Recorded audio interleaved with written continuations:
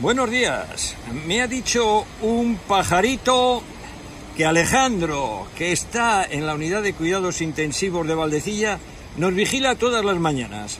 Y su abuelo, José Luis, le quiere mandar un saludo desde aquí. José Luis. Buenos días, Miguel Ángel, buenos días.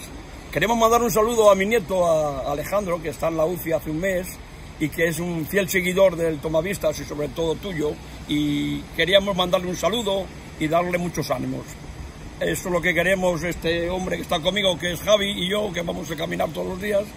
Y Alejandro es un hombre encantador que nos sigue y nos...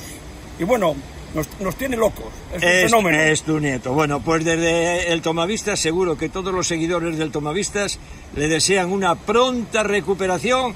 Y Alejandro... Ánimo, paquete. ¡Ánimo, paquete! Alejandro se llama, ¿no? Alejandro, Alejandro. que me lío yo. Alejandro, síguenos ahí todos los días y de vez en cuando tu abuelo te mandará un saludillo desde aquí. Mírale qué contento se ha puesto. Adiós, Y- guapo. Y, se está emocionando además. bueno, pues un abrazo muy fuerte, muy fuerte. Y a todos esos que están en la unidad de cuidados intensivos que le están atendiendo Y un saludo grande para la gente que le cuida. Bueno, pues está, está amaneciendo con un poquito de niebla y un abrazo muy fuerte para Alejandro. Venga, hasta luego.